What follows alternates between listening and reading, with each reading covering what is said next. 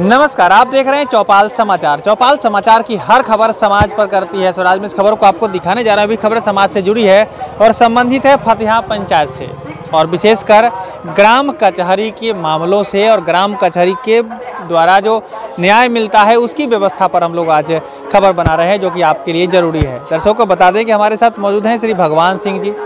यह पहले लगातार समाज की सेवा में सक्रिय रहे हैं, चुनाव भी इन्होंने लड़ा है और इस बार इनकी पत्नी सरपंच के प्रत्याशी के रूप में आ रही हैं। और आज हम इनसे जानेंगे कि क्या है इनके पत्नी जो प्रत्याशी बनेंगी, उनकी योजना और क्या है इनकी योजना जिससे कि समाज का विकास होगा। ग्राम कचहरी कितना बेहतर हो सकेगा, इस पर हम लोग चर्चा करेंगे। बता दें कि ये सामाजिक कार्यक्रम है।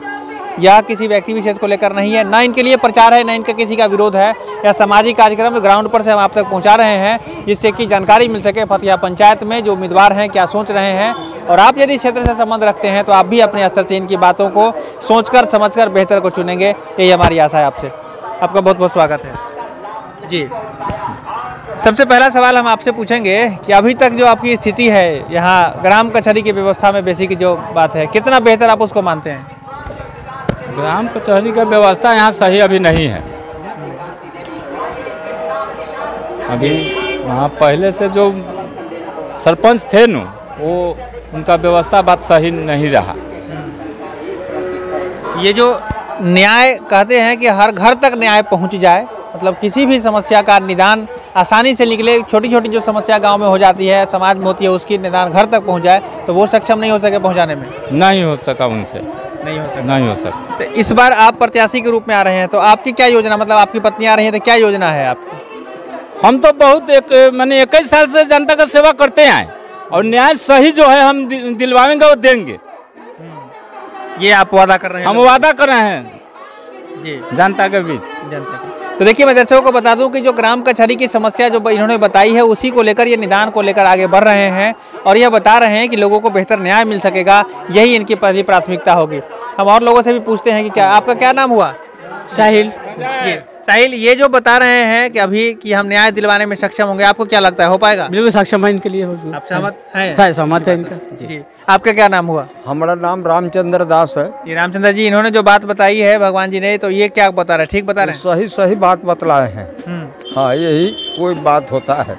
हम्म, इन्हीं को हम लोग मान सम्मान करते हैं। करते हैं। कोई भी ऐसे लोग हैं जो कि सम, आपका आपका क्या नाम हुआ? संजय कुमार यादव। क्या ये ठीक बता रहे हैं आप? हाँ जी जी बिल्कुल सही है। सही है? जी, जी। न्याय मिल सकेगा मिल सकेगा। मिल सकेगा। आपका क्या नाम हुआ? राकेश कुमार सिंह। राकेश जी आपके नज़र में क्या लगता है? ये बता रहे हैं सही बता रहे हैं? हाँ सही बता रहे हैं। हम लोग सब मिलकर न्याय के लिए लड़ रहे हैं और न्याय दिलाने के लिए काम करेंगे। जी आप इनके परिवार से ही हैं हमके ये लड़का हुए हैं। तो देखिए ये यहाँ पर जितने भी लोग हैं ये सहमत हैं इनकी बातों से और आप दर्शकों से भी कहना चाहेंगे आप कितने सहमत हैं आप भी कमेंट ज़रूर करें। ये तो पंचा, पंचायत का जो चुनाव है ये बड़ा ही ट्रांसपेरेंट होता है और यहाँ पर जो भी उम्मीदवार आते हैं अपनी बात लोगों के बीच सीधे सीधे रखते हैं और हर व्यक्ति एक दूसरे को जानते समझते ही हैं। एक बात और हम आपसे जानना चाहेंगे। पंचायत चुनाव में देखा गया है कि लोगों को लोभ मोह डर भय दिखाकर वोट अपने तरफ़ खींचने का लोग प्रयास करते हैं। तो आपका क्या नीति रहेगा? क्या आप ईमानदारी से वोट हम ईमानदारी से। जी। ईमानदारी से जनता हमको वोट लोग करता है। करता है। करता है ईमानदारी से। जी। तो जनता को भी आप संबोधित करें कि हाँ आप भी जो हमारे दर्शक जो देख रहे हैं वो भी बेहतर उम्मीदवार का चयन कर सकें क्या कहना चाहेंगे? हाँ तो बेहतर उम्मीदवार चुनबे करेगा जनता लोग। चुनेगा। हाँ ठीक है।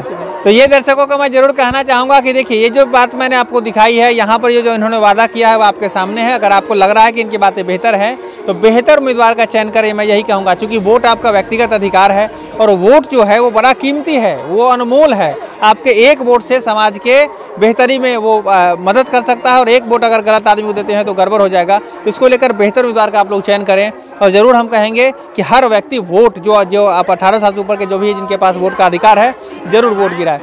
आखिरी में आप जी और सभी लोग सभी लोग आप भी आइए अपनी बात रखिए। आपका क्या शुभ नाम हुआ? संजय कुमार प्रजापति। संजय कुमार जी पंचायत चुनाव अभी देख रहे हैं लगातार चल रहा है पूरा प्रचार हो रहा है जिंदाबाद जिंदाबाद। जी, पूरा आपके- जिंदाबाद है। आपके विचार में क्या लग रहा है?